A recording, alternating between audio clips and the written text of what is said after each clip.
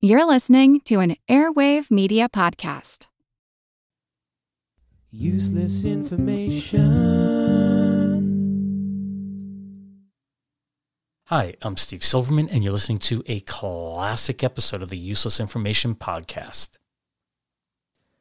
Queued up for your listening pleasure is the wild story of the sterilization of Ann Cooper Hewitt, which I first recorded and released back on April 5th of 2010. Now, one thing that I wasn't doing in these early stories was adjusting the monetary values to modern numbers, so I'm just going to do that right now. In the story, I mentioned that Peter Cooper Hewitt left an estate valued at $10 million in 1921. Adjusted for inflation, that would be about $170 million today. Now, daughter Anne initially received an allowance of $1,000 per month, That'd be about $17,000 per month or $204,000 per year today. Wow. But believe it or not, that was later up to $35,000 per year, which is just shy of $600,000 per year today. It must have been really tough for a kid to live on so little money, don't you think? I don't know about you, but I'm suddenly feeling quite poor. Welcome to the Useless Information Podcast, my collection of fascinating true stories from the flip side of history. My name is Steve Silverman. Today's story is on the sterilization of Ann Cooper Hewitt. But before we do that, let's start with today's question of the day. For today's question of the day, I thought I'd ask you about your computer keyboard. And yes, there's still some people using the old-fashioned typewriters, but that uh, those people are far and few between. Anyway, that is known as the QWERTY keyboard, as I'm sure you know. It spells Q W E R T Y across the top row of letters. Now, this version of the keyboard uh, was introduced in 1873 by Remington Arms to sell its typewriters. And it was purposely laid out in a certain way so that it would spell one particular 10 letter word across the QWERTY row. So, across the top row of letters, you could spell one particular 10 letter word. So, my question for you today is what was that 10 letter word that you can spell across the top row of keys? Again, what is that 10 letter word that you can spell across the top row of keys? And I'll leave you in suspense until the end of this podcast. And now for today's story on the sterilization of Ann Cooper Hewitt, a woman who was just born into extreme wealth and somehow managed to grab the headlines practically from the day she was born until the very day she died and even beyond. Now, Anne's dad was a guy named Peter Cooper Hewitt, and he was a self made millionaire, basically an engineer who had numerous inventions, including the mercury arc lamp. That was his most important invention, which was a precursor to the uh, modern fluorescent lights. This is a very, very important invention today because incandescent bulbs were very expensive to operate and the mercury arc lamp allowed industry to provide lighting for a much lower cost. Now, his father was Abram Hewitt, who was once the mayor of New York City, and his grandfather was the famous Peter Cooper, the wealthy industrialist who built the first U.S. locomotive, the Tom Thumb, founded the Cooper Union School in New York City, which is something that I've always been very interested in. And more importantly, this is probably the most important thing, he invented instant gelatin. And he sold the company off and it became Jello, even though he didn't make much money from it. Now, her mom, Ann Cooper's mom, was Marion Andrews, who was reportedly from a southern, you know, aristocratic family, but of only minor wealth and prominence in society. And what I should mention is that she had been married twice before meeting Peter Cooper Hewitt. So this was her third marriage that produced Ann Cooper Hewitt. Ann's dad was much, much older than mom and died on August 25th, 1921. And that's really where the story gets going because his estate in 1921 was estimated around $10 million in value. And that's a combination of the money he earned from his inventions as well as the large trust fund that his uh, grandfather had set up for him. Now, his will specified that the bulk of this fortune was to be equally split between his wife Marion and his daughter Anne. And if mom remarried, her share would be cut in half and go to Ann. Dad specifically set up $1,000 per month uh, for the upbringing of Ann until she was, uh, you know, of age, which back then was 21 years of age. If for some crazy reason Ann died childless, all the money would then revert back to her mom, Marion, if she was still alive. And this will actually be very important later on in the story. Anne's name first started appearing in the papers in 1922, that's shortly after her father's death. And this is because her mother petitioned the courts for an increase in her allowance. She felt that Anne could not live off of $1,000 per month. The court actually agreed and increased Anne's allowance to, to $35,000 per year. That's an increase of $23,000 per year back in 1922. Of course, when you're dealing with this kind of money, someone's going to object. And in this case, it was Peter Cooper Hewitt's brothers and sisters, and they argued that Anne was illegitimate and she was not entitled to a penny. She shouldn't even gotten a thousand dollars per month. And this is because Anne was born four years prior to the couple's marriage in 1918. So the family was attempting to prove that this marriage was totally illegal and that Anne was nothing more than a so called love child. The case was filed in the court by the trustees of the fund established in Peter Cooper's will. That's the grandfather for his grandson, Peter Cooper Hewitt. And they basically wanted the court to determine if Anne and her mom Marion were in fact the legal heirs to his estate, you know, and finally settle the case once and for all. Now, what proof did the family have of this so called illegal marriage? Well, it turns out, as I mentioned earlier, mom had, been, mom had been married twice before she married Peter Cooper Hewitt. And her first husband was a wealthy Californian. I'm going to mess up his name, I'm sure. It was Dr. Pedro de Bruguiere, from whom she got a quickie divorce in Reno. Which leads us to husband number two, a wealthy Wall Street guy named Stuart Denning. And Denning was able to get that marriage annulled in 1910 on the grounds that there was something fishy about that divorce from de Bruguiere. Now, if his claim about that Reno divorce was true, then there was then she was still technically married to her first husband, de Bruguiere, and of course that meant that her marriage to Hewitt was illegal, and that also meant no money for her or her daughter Anne. She was still technically married to the first husband. At least that's what they were trying to prove. Now, while the courts were trying to straighten out this tangled matrimonial mess, she didn't waste any time. She found husband number four, and she was courted by a number of men, but she narrowed it down to two, and that was the Baron Robert de Erlanger and the Shah of Persia, which is, of course, known as Iran today. The Shah of Persia actually wanted her to head his harem. And Marion uh, opted to become a baroness. She chose the first person, and uh, she was actually known as a baroness in the news for a num- number of years after that. Before we get back to the court case, I should also mention that by the end of 1926, Mom had also divorced the Baron uh, because supposedly he admired other women, if you know what I mean. Then Marion married once again to husband number five, who was a prominent New Jersey lawyer named George McCarter. And on the marriage certificate, it said that she was 39 years old at the time, but from what I can figure, she was actually 42. And as you can probably guess, that one ended in divorce also. So let's get back to the question of who would receive Peter Cooper Hewitt's fortune. On May 1st, 1925, the court ruled in favor of Anne and her mom. The decision, of course, was appealed by the family, but on January 5, 1927, the Appellate Division of the Supreme Court affirmed the decision without opinion. That meant that Anne Cooper really was the daughter of Peter Cooper Hewitt, and she was entitled to everything that both her father and grandfather's estate set forth.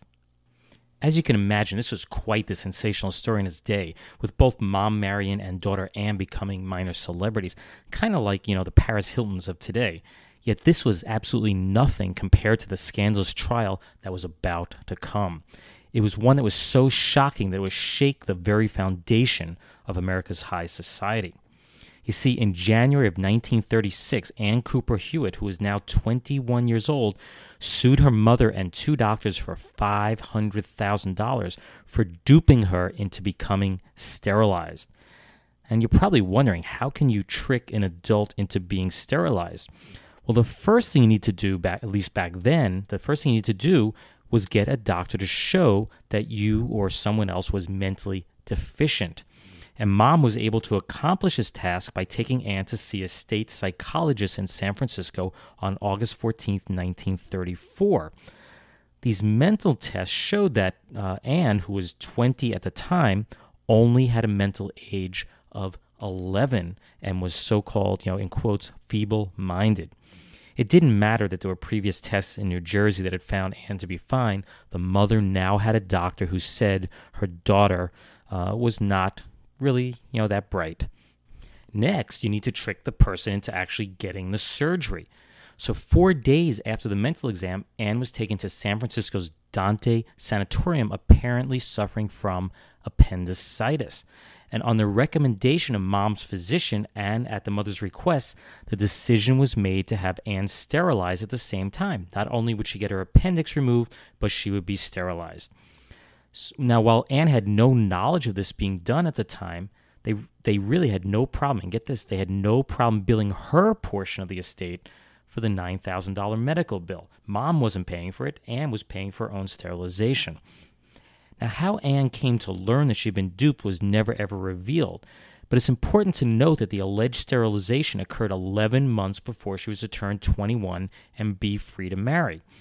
This was perceived as a way for the mother, Marion, to gain tighter control over Anne's portion of the estate. Remember what the dad's will said if Anne died childless, mom would get everything.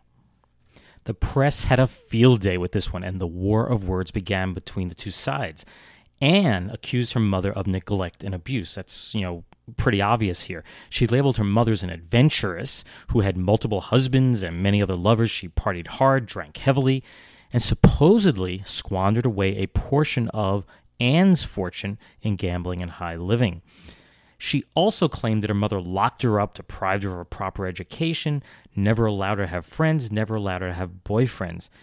And it was also brought to light that mom was not from the southern aristocracy that she had so long claimed to be. Instead, Marion was supposedly the daughter of a poor horse cab driver in San Francisco. Now, mom and her team of lawyers fired back that all of these accusations were just totally false. That is, except for the sterilization.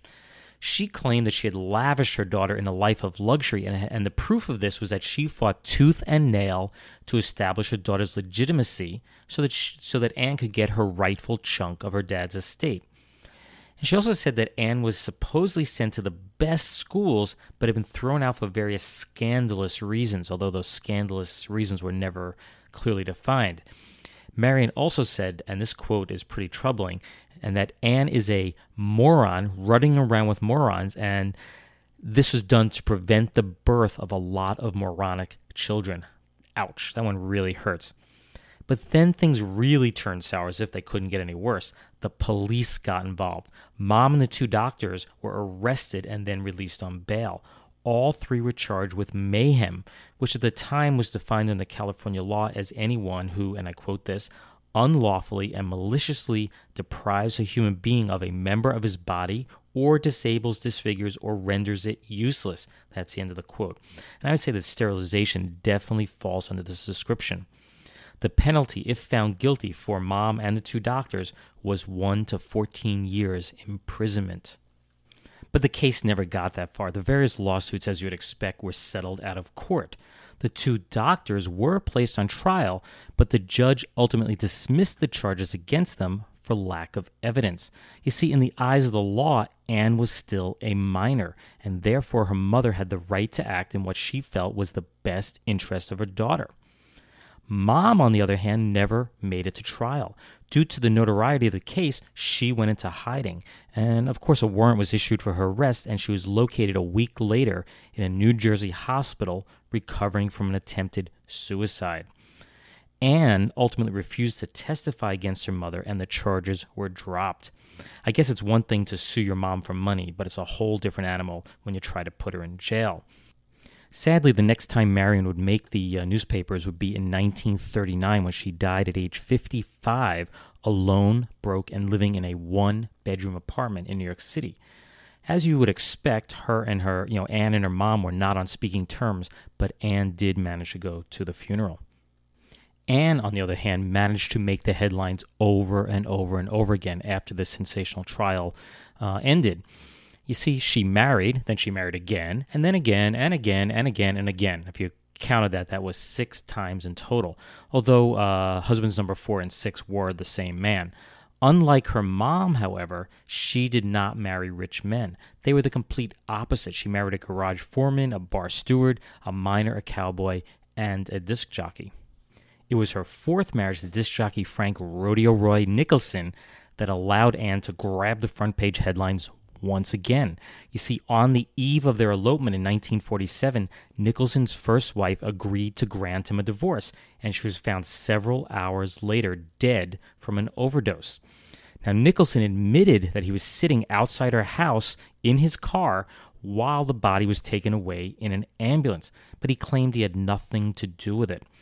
Now, although never explicitly stated in the press, the articles were written in such a way to suggest that the couple bumped off the first Miss, Mrs. Nicholson so that they can get married. Two weeks later, her death was in fact determined to be a suicide, but the newlyweds found themselves in further legal hot water. That's because the couple was charged with criminal conspiracy in an attempt to bypass California's premarital blood test law. That's the test for syphilis, and they were placed on trial as a result. The jury, you know, they couldn't reach a verdict, but it was later determined that they had given false testimony on the witness stand. So a second trial was held, and both the husband and the wife, Anne and her husband, Rodeo Roy, were convicted of perjury. Their fine, which was really no big deal to a millionaire, was $1,000. Now, two years after the trial ended, and of course, we know that uh, she divorced Rodeo Roy, married somebody else, then remarried Rodeo Roy.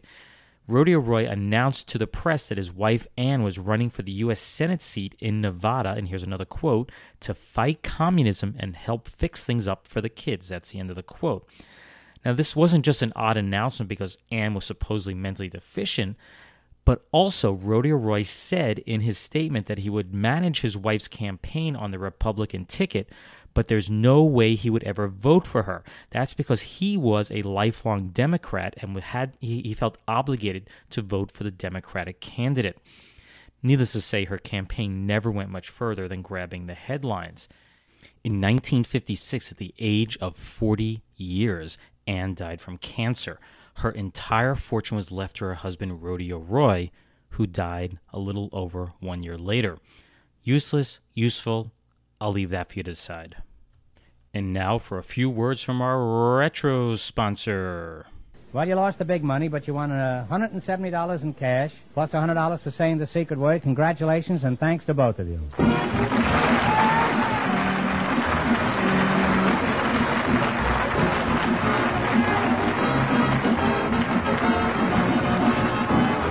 You Bet Your Life is a John Guedel production, transcribed from Hollywood, directed by Robert Dwan and Bernie Smith, music by Jerry Fielding. Be sure to tune in again next Wednesday night at this time for the Groucho Marx Show, You Bet Your Life, presented by the more than 3,000 DeSoto Plymouth dealers of America. And remember, all dealers who sell DeSoto also sell Plymouth, two great cars, both products of the Chrysler Corporation. And don't forget, next week the big question will be worth $2,000. Folks, be sure to see the article about Groucho and You Bet Your Life in the current issue of Look magazine.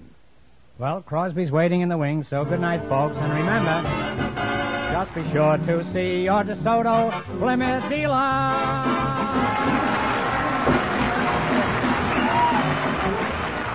Folks, here's a tip from the National Safety Council. Good drivers don't brag about their ability to get out of tight spots. They stay out of them. This is George Fenneman signing off for the more than 3,000 DeSoto Plymouth dealers from coast to coast.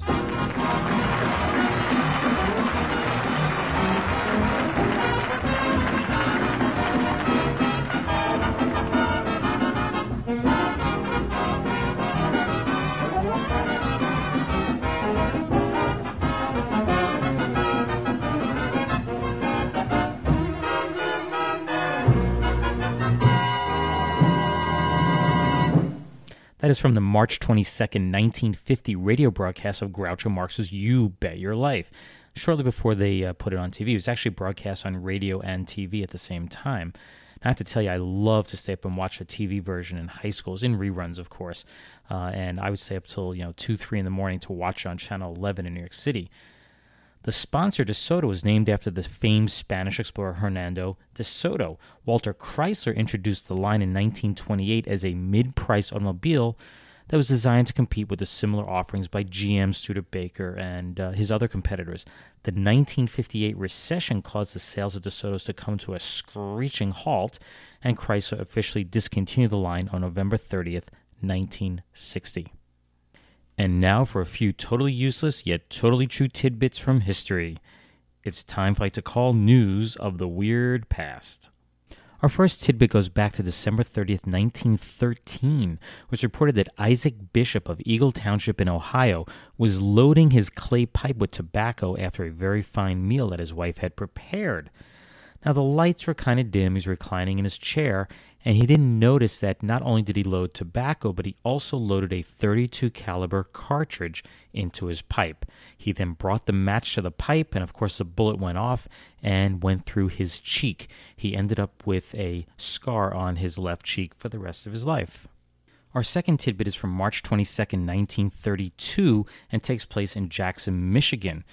It's reported that a trooper named Leon Hopkins was opening his mail at the local post office when a guy named Joe Bronkovich complained to him that his wife ran off with another man. Just at that moment, a flyer fell out of the trooper's mail with Bronkovich's picture on it.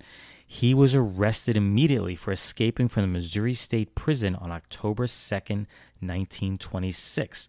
Now, Bronkovich really didn't have much uh, right to complain to the officer about his wife running off because it turns out that he was serving time for bigamy. Our last little tidbit for today takes place on April 23, 1938, in Denver, Colorado, where it's reported that a boy named Ray Fowler, who was 14 years old at the time, received a $300 prize for writing a story on his narrow escape from a railroad water tank. It seems that he and several other boys were swimming in the tank when a train drew out a large amount of the water. So now they could no longer reach the rim and they were stuck treading water. And they were there for a fairly long period of time. So Ray decided to dive down repeatedly and open a dump valve in the bottom of the tank. And, and he didn't want to get sucked out, so he just opened the valve up a little bit, let some water out, and he kept doing that over and over again until the boys were able to stand on the bottom of the tank and be rescued. And now the answer to today's question of the day. And I asked about the QWERTY keyboard, the one that people love to hate, the one that's probably responsible for a lot of carpal tunnel syndrome. Anyway, this keyboard was modified into its form that you basically see today in 1873 by Remington Arms. And I should tell you the QWERTY keyboard in general was laid out by a guy named Christopher Sholes in the late 1860s because he was trying to keep the most common keys. In those days, of course, on typewriters, keys came up and struck the paper, and he was trying to keep them from getting tangled up in each other. So when Remington adopted this, uh, they made some slight modifications, and they they purposely made it so that the top row of letters would spell one 10 letter word, and that was the word typewriter. They wanted their salesmen to go be able to go out and show customers how fast you could type with a typewriter. So they would type typewriter very very quickly using just those letters on the top row. Well, I hope you enjoyed listening to today's story on the sterilization of Ann Cooper Hewitt, as well as our question of the day on the typewriter keys, listening to our retro sponsor uh, from DeSoto Automobiles, as well as the news of the weird past tidbits. Uh, you know, the guy who blasts his cheek out with his pipe, uh, the unlucky bigamist, and of course the boy's narrow escape from uh, the railroad water tank. If you'd like to read more true stories just like these, please be sure to get a copy of one of my books. Uh, they are Einstein's Refrigerator, and the second one is Lindbergh's Artificial Heart. And as I've said before, they're both written by me, Steve Silverman. Uh, they're available from your local bookseller, online, and of course from your local library. If for some crazy reason you'd like to uh, contact me, uh, simply drop me an email at useless at steve.silverman.name. That's useless at steve.silverman.name, or you can visit my website at uselessinformation.org. And lastly, as always, I'd appreciate it uh, if you could log into iTunes and leave some positive comments to help increase the number of listeners to this podcast. A lot of people have done that, and I'm really thankful. Again, thanks for listening, and I hope you tune in the next time. Bye.